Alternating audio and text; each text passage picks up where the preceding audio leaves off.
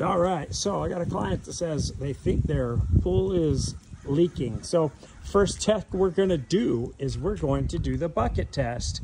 So a bucket is gonna evaporate at the same rate as the pool.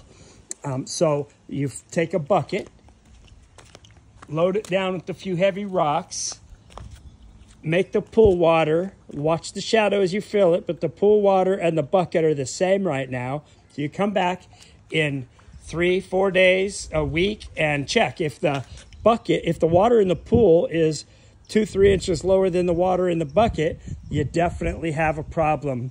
Um, go ahead and watch the next video if you want to see. We'll do some isolation tests to check after that. But that's the bucket test. Good luck. I hope it's just evaporation for you.